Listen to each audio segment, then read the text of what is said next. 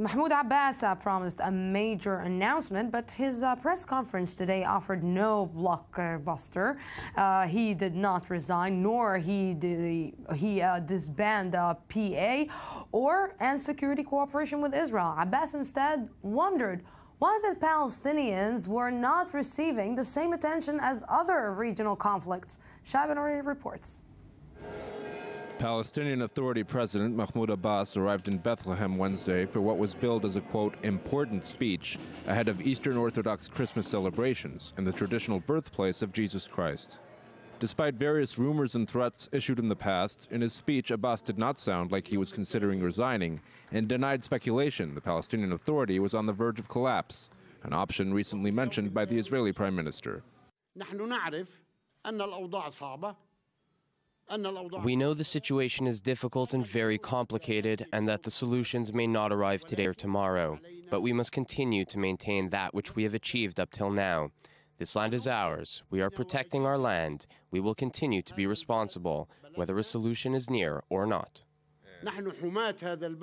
While Abbas looks set to continue in his role for now, his popularity, as well as that of the Palestinian Authority, is at an all time low.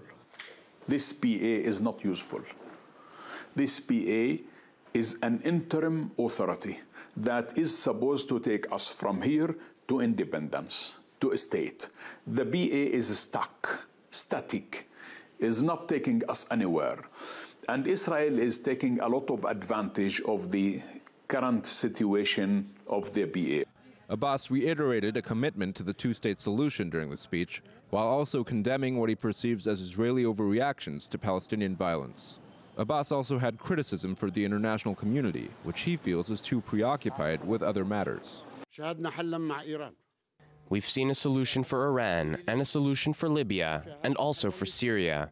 Are we not as good as they are? This conflict came before all the others.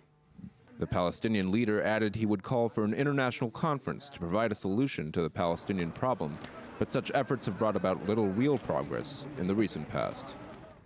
Mohammed uh, El Qasim, I-24 News correspondent and analyst, you were today in Bethlehem. You saw and you heard Abbas's speech, and you know, I'm wondering how come the Palestinians are so surprised that uh, they are not the top priority of the Arab world or the international community right now?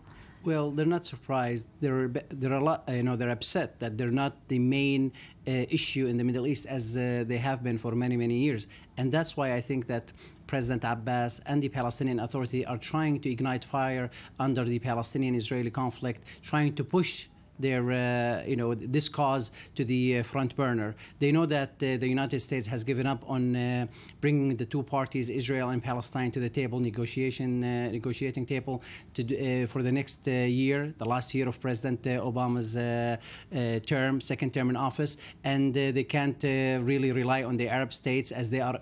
Many Arab states are busy with their with their internal issues now.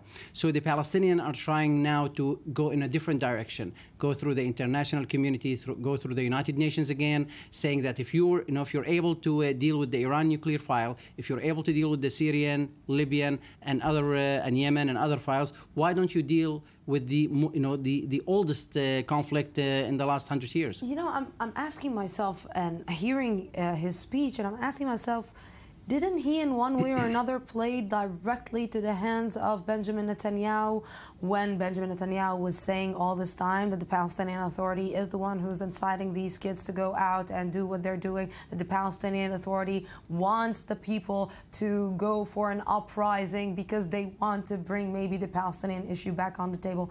This in one way or another, and excuse me, whomever is listening to me, is not such a smart move. Well, listen, there is some credence to what you're saying that the Palestinian Authority uh, is behind. Uh, you know these demonstrations and people going out every day. The Palestinian Authority says that we have every right to go out and peacefully uh, protest and resist the occupation. However, they deny that they are inciting people to go out and kill and run over, uh, you know, people with cars. However, two main issues that the President Abbas tried today to uh, send to the world. Basically, he was trying to say that next week there will be a very important meeting, the P- a PLO meeting, that will take you know, decisive steps in dealing with Israel. Two issues Oslo Accord and the security coordination. That's one. The second issue is now he's appealing, as we've said, to the international commu- community, saying, why don't you have a, a big convention, big uh, conference about Middle East, uh, the, the Palestinian issue in the Middle East, and maybe have, uh, you know, we can uh, bring back the Palestinian and Israelis to the table again. Maybe, who knows? This is a new year. Hamad Al Qasim, thank you very much. My pleasure.